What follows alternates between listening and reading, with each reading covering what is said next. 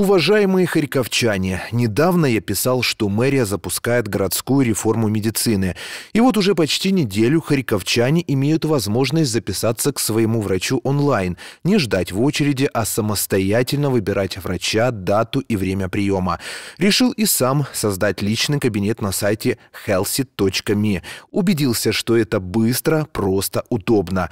Зашел на сайт healthy.me во вкладку «Войти в личный кабинет». Ввел свой номер телефона телефона, на телефон пришло СМС с кодом, который я ввел на сайт. Ввел свою ФИО, дату рождения, придумал пароль, нажал «Зарегистрироваться». Все, 30 секунд на регистрацию, и я могу выбирать специалиста и время приема. Родители могут добавить ребенка к своему личному кабинету и также записывать его на прием.